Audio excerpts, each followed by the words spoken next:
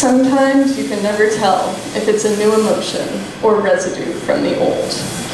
You meet a partnered guy who you adore, and then you meet one who likes you but who you couldn't give a rat's ass for.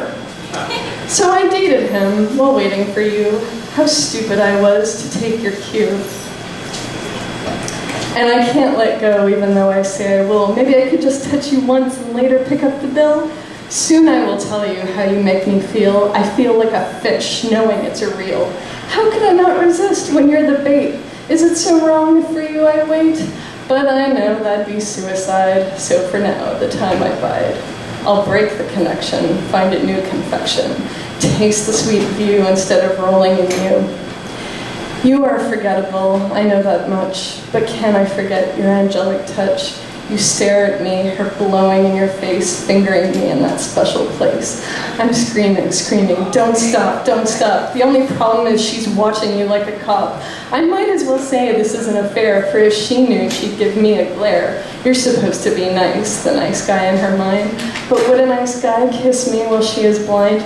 You can't even have sex with her. What kind of a relationship is this? So you drag me and step me in all this business.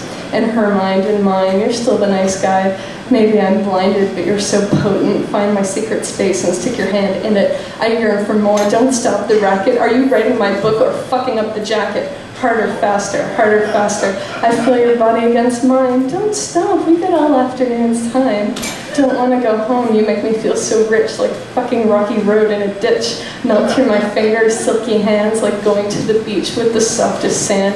You look like an angel, but could an angel touch me like this? Devil in a ponytail. Your mom must have been a sweet bitch. You're sure you're not bad? I know you used to tap dance, putting your ass out there like, while girls unselfconsciously prance. We stop. Pause. You have to go pick her up.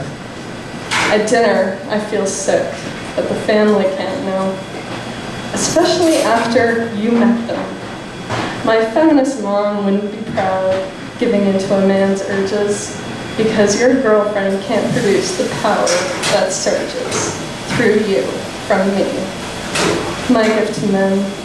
But you, you're different. I swore you were nice.